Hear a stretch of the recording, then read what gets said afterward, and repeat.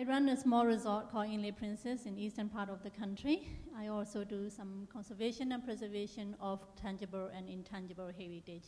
Lately, our latest project is about a vocational training center for the youth of Inle Lake in hospitality. Um, I have to make you cry. That's what Sanji do, told me.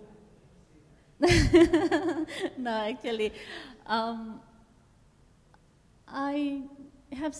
I don't know what really to share because I don't feel like very. My story is very particularly interesting. However, um, I know that Burma is under the spotlight nowadays because we have been, you know, shut down from the rest of the world for more than five decades. So we are interesting creatures um, for the moment. Um, so the simple story, I don't know. I think um, in my journeys, um, hard time I, I, had I had some compared to others, um, not much. But um, I think we're going to start with education.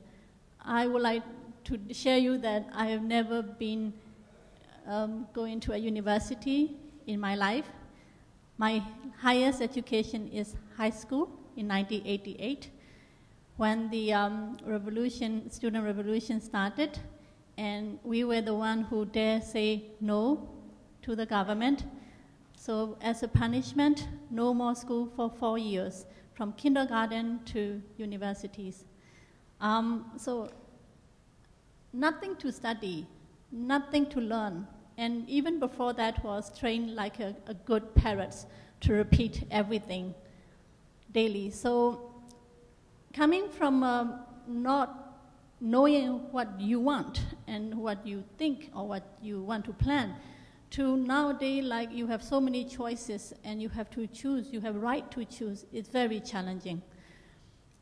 But for me that not being able to study after high school was very tough. However i think that um, when you are in surviving mood uh, there are some kind of skill coming out or something like this is you got to learn with what you see what you have and get grab any kind of opportunities and get things done.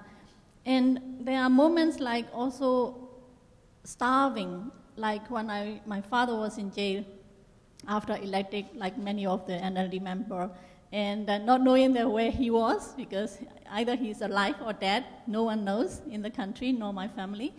And uh, that stuck in Bangkok to apply a visa for Switzerland at that time because some of my father's friends wanted to help me with some study in Europe. And there, I got $60 in my pocket and have to survive a week because some of my father's friends who wants to help me happened not to be there. And starving that time, um, again, gave me nowadays of liking anything I eat. So without those challenges, I won't become who I am, I think. And um, those are small samples that I set uh, to, to my team. And I think um, I just want to treat people like I wanted to be treated. And uh, when I was doing this vocational school is to aim for uh, people who drop off of high school from 70 to 24 years old. And because I've been through that, so I think it is very important in life that just treat people like you, have, you want to be treated. Yeah, that's the same saying that I kept saying. And um, I think there are also moments like um, in business, I have been through to many things, very successful and then very weak. One moment in 2007, 2008, when um, Saffron Revolution started and the cyclone Nargis hit Burma, and no more tourists coming in, and I got a, seven hotels to run with more than 600 staff. And how do you deal? How do you keep all these people? I can't just kick out people because we have um, no more business coming in.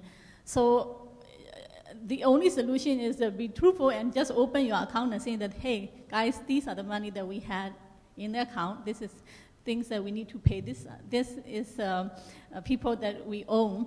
These are people who own us, and that's our money. How do we deal with that? And that was being humble and or, or simple and very uh, transparent, that it gave me um, a very a strong team at the end of the day because in those difficult moments, I never want to let down anyone, and they know that. I will risk only money, but nothing, nothing else.